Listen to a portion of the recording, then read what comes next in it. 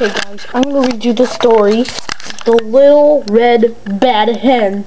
Psych. Okay, I'm gonna read it right now. Where are you? Uh, Happiness Island by the statue. Can you come get me? Alright, um, hold on, I have to go get a chopper first. I'm at one. I'll pick you up. Sweet. Oh, okay, cool. Whoa, someone just joined. Yo, what up, bitches? Oh god, option to keep these dumbasses from joining. You, which one of you honkies wants to ride with this bad motherfucker? Do you always talk like that? Yeah, really. Yeah. Word, dog. Yo, man, get in my ride. Let's roll, bitch. Do your parents know? Probably not. Bitch, please.